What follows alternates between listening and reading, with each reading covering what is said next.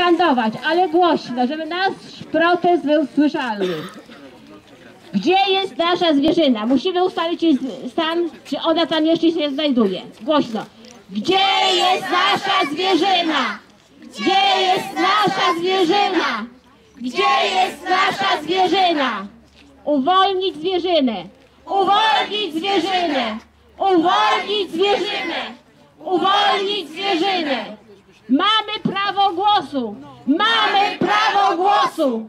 Mamy prawo głosu!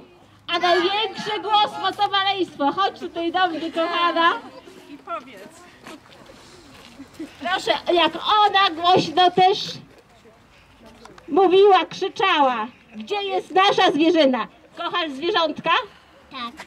A masz jakieś w domu zwierzątka? Y, tak. A jakie? Królik, dwa króliki, jeden umarł. Psa, psa y, kota I rybki. i, i rybki i jeden pies. Proszę Państwa, powiem, marzeniem naszym ekologów jest to, żeby takie pokolenie wyrastało nam w przyszłości. To jest najmłodsza wolontariuszka schroniska. Najmłodsza wolontariuszka schroniska, cudownie. Takie, żeby było nasze pokolenie, które już teraz kocha zwierzęta, ma te zwierzęta w domu, dba o te zwierzęta, opiekuje się. Proszę, to jest przykład naszych następców. Jestem z tego bardzo zadowolona. I co, oklaskamy ją powitamy.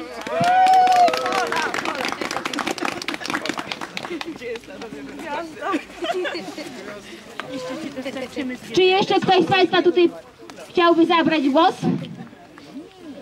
To co proszę Państwa, spotykamy się, mam nadzieję, jak mi się znowuż uda uzyskać pozwolenie i spotkamy się przy okazji, mam nadzieję taką, odłowu zwierząt. Powtarzam, ekolodzy będziemy zawsze stali na gruncie, abyśmy byli przy tym odłowie, żeby oni nas nie wyrolowali.